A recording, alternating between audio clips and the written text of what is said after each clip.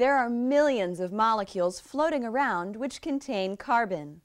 They range in size from methane, with one carbon, to DNA with millions of carbons. Although methane and DNA don't appear to have all that much in common, both methane and DNA are organic molecules because both contain carbon. But what's so special about carbon that it should have an entire discipline of chemistry devoted to it?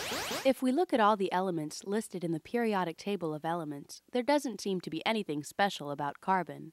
It's not the first element nor the last. Its atomic number is 6, and we find it in the second row of the table between boron and nitrogen. Carbon is so special because it can form strong bonds with other carbon atoms while maintaining strong bonds to different atoms.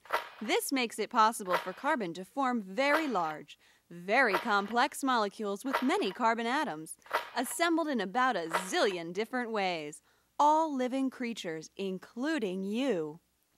Hmm? Me? Yes, even you are made up of millions of carbon containing molecules.